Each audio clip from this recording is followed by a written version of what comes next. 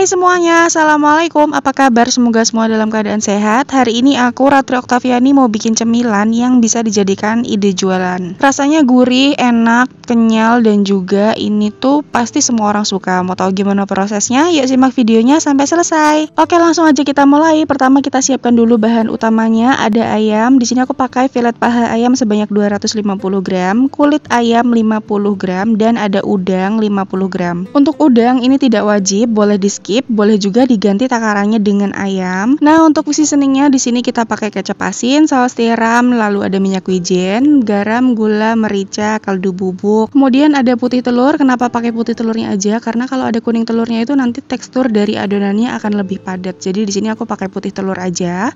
Dan ada dua siung bawang putih dan juga ada 3 sendok makan es batu. Kemudian di sini aku juga sudah siapkan 9 sendok makan tepung tapioka atau tepung pati atau tepung aci, bukan tepung terigu. Dan untuk kulit dimsumnya aku pakai ukuran 7 cm diameternya dan ini aku beli di Shopee. Linknya silahkan cek di description box. Oke langsung aja kita mulai. Di sini aku sudah siapkan chopper dan kita juga akan masukkan ayam. Nah untuk ayamnya di sini akan aku bagi dua tahap ya teman-teman. Tahap pertama kita mau ayamnya itu benar-benar halus, sedangkan nanti sisanya akan kita blender belakangan supaya nanti ada teksturnya ya. Untuk kulitnya kita masukkan karena kita pengen kulitnya juga halus. Lalu masukkan juga di sini tepung tapioka atau tepung acinya. Kemudian ada putih telur saus tiram, kecap asin, lalu ada minyak wijen, kita masukkan semuanya.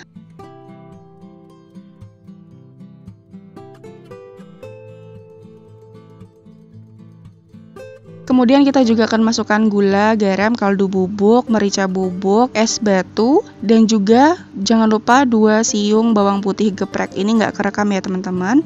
Kemudian mulai kita haluskan semuanya. Ini akan kita chopper atau kita blender nanti sampai adonan yang pertama ini benar-benar halus sempurna. Oke, kalau adonannya sudah halus, kemudian ini akan kita masukkan udang dan juga sisa ayam yang akan kita cacah sebentar aja. Jadi nanti hasil akhirnya itu ada adonan yang masih e, bertekstur gitu ya teman-teman. Jadi nanti tuh dimsumnya hasilnya akan enak banget teksturnya. Dan ini akan kita chop-chop sebentar aja sampai nanti udangnya itu tercacah jadi masih ada tekstur-teksturnya. Sebentar aja kita chopnya. Kalau teman-teman nggak punya chopper, bisa menggunakan blender atau bisa juga nanti dicacah manual gitu. Jadi ditaruh di talenan terus dicacah-cacah-cacah terus nanti sampai halus. Bisa seperti itu ya teman-teman. Nah ini adonannya sudah ready, sudah siap dipakai. Jadi adonannya bagus banget. Ada yang halus tapi tetap masih ada tekstur-tekstur dari udang dan juga ayamnya. Kemudian di sini aku sudah siapkan 50 gram wortel parut atau wortel serut. Kita masukkan dan sisakan sedikit supaya nanti bisa kita gunakan untuk topping di atas dimsumnya. Ini kita aduk dulu sampai tercampur rata, semuanya jadinya hasilnya seperti ini. Dan ini sudah siap untuk kita kukus ya teman-teman. Nah, buat teman-teman yang mau lihat kulit dimsumnya, dia ini kulit dimsumnya seperti ini, benar-benar teksturnya halus banget, lembut, dia lentur, tidak gampang sobek. Cuman kita harus keep ini dalam uh, wadah tertutup supaya tidak gampang kering ya. Caranya gampang banget, tinggal ambil satu kulit dimsum, kemudian masukkan secukupnya adonan yang tadi kita sudah buat.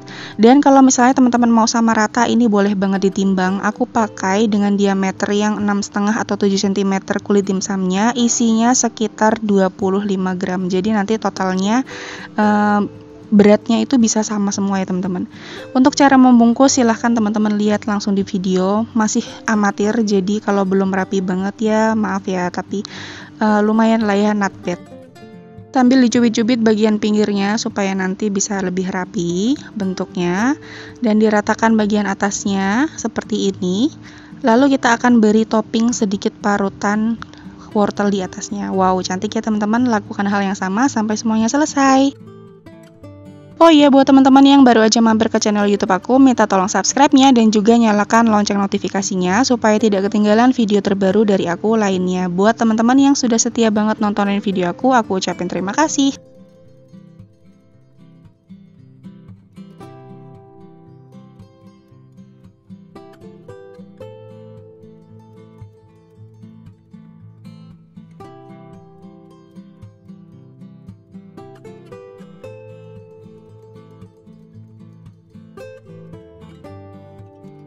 Oke, semuanya sudah terbungkus, adonannya sudah habis dan hasilnya benar-benar cantik ya seperti ini.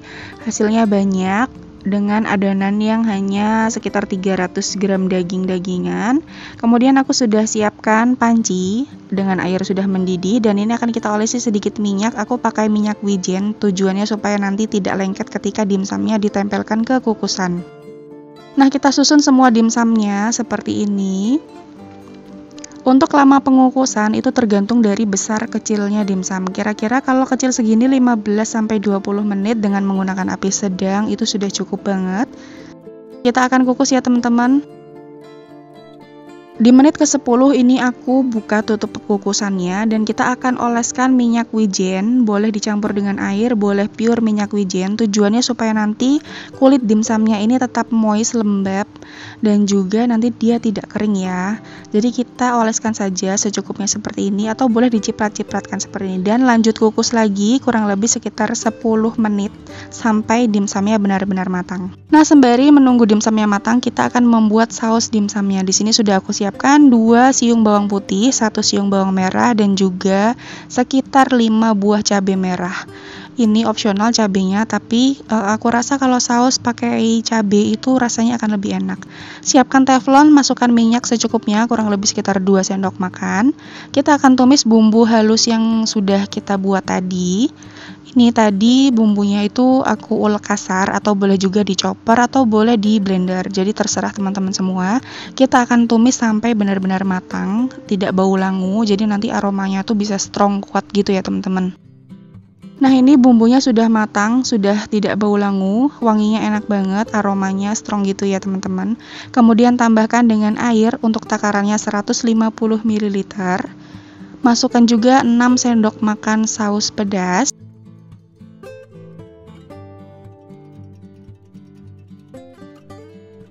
Lalu di sini aku pakai satu sendok makan air asam jawa, kalau nggak ada boleh diganti dengan cuka, dan 2 sendok teh gula pasir. Tambahkan juga dengan seperempat sendok teh kaldu bubuk, boleh diganti dengan kaldu jamur atau micin, disesuaikan saja dengan selera.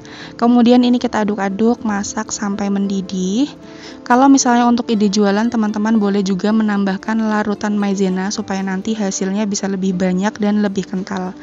Nah, kurang lebih seperti ini ya teman-teman hasil dari akhirnya. Jangan lupa dikoreksi rasanya. Jadi kalau saus dimsum itu enaknya ada e, manisnya, pedas dan juga ada asam-asamnya gitu loh teman-teman. Ini sudah selesai dan siap untuk dipakai. Oke, dimsumnya sudah dikukus kurang lebih sekitar 20 menit. Aku rasa ini sudah cukup matang dengan size yang tidak terlalu besar seperti ini hasilnya Masya Allah. Cantik banget ya teman-teman. Hasilnya cuman itu tadi wortelnya berantakan karena ketika dioles uh, dioles dengan kuas minyak wijen dia tersenggol jadi bubrah wortelnya. Tapi nggak apa-apa hasilnya Masya Allah cantik banget. Dan udah deh jadi ini dia hasilnya dimsum ayam udang yang hasilnya banyak banget cantik. Terus dia tuh wangi banget teman-teman. Wangi dari minyak wijennya wangi dari ayamnya. Gurih-gurihnya itu benar-benar terasa banget di aroma uh, ketika kita hirup Teksturnya tidak terlalu padat ayam, tapi dia ada kenyal-kenyalnya. Lihat deh di bagian dalamnya itu ada kelihatan potongan-potongan ayamnya ya, jadi tidak terlalu halus tadi itu. Jadi uh, teksturnya masih ada kasar-kasarnya dikit itu ayamnya. Terus dicocol pakai saus yang tadi sudah kita buat, masya Allah ini rasanya super duper enak banget. Teman-teman wajib cobain ini. Untuk satu resep ini dengan menggunakan dimsum berukuran 6,5 sampai 7 cm dan kira-kira tadi kalau ditimbang itu hasil adonan dan kulit itu 27 gram.